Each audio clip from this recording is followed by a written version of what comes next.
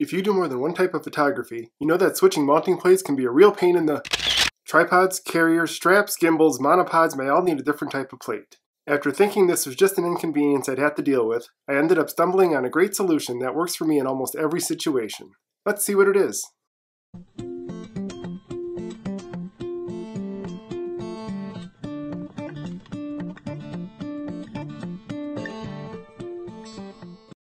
A few weeks ago, I was testing out the Cotton Carrier Skout for an upcoming trip. The Skout comes with its own hub that slides into the holder. To switch between this and my tripod mounting plate meant I had to remove one and attach the other. This is especially problematic in cold weather. See my previous video for cold weather tips. To circumvent this issue, I purchased the Cotton Carrier Universal Tripod Adapter Plate. Just a note, this is not a sponsored video, and I am in no way being endorsed or paid for this video by the manufacturer. That being said, I do get a small referral commission if you use the link in the description, and you'll get 10% off if you use the coupon code. This plate attaches directly to my tripod and allows the cotton carrier hub to stay attached to it. Full disclosure, I no longer use the cotton carrier Skout. It's a great product, it just didn't work for my particular situation. I guess I just prefer to have my camera in my hand or on a strap, but it's personal preference. The Skout is a great product, and I'd suggest giving it a try if you think it might work for you. Mounting the plate is simple. It comes with a rubber gasket to keep it tight against the camera and prevent it from spinning. Just put it in place, adjust if needed, and snug the screw. Done. Let's take a look at how this plate solves multiple problems for me and maybe for you. Number one is a tripod plate. This serves as my tripod mounting plate for most situations. Notice I said most. I'll get to that in a second. It connects directly to any of the ball heads that I currently own.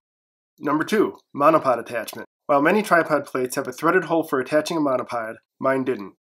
The location where the cotton carrier hub normally mounts is a perfect spot to attach a screw-on type monopod with no extra adapters. Number three, a strap holder. None of my tripod plates have a place to attach a camera strap.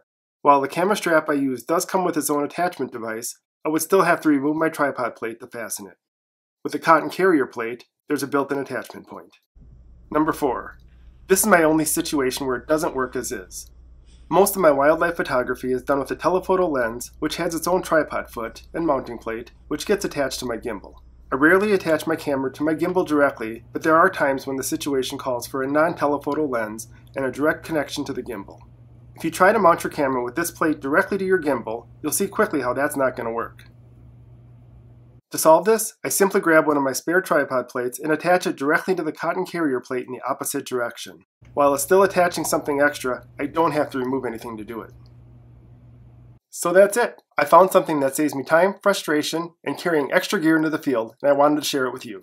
I put a link in the description if you think this might help you too. Use code DAVIDSCHLIEPP to get 10% off of your purchase. As always, please help me out by liking this video and subscribing to the channel for more tips, tricks, and time savers. Till next time.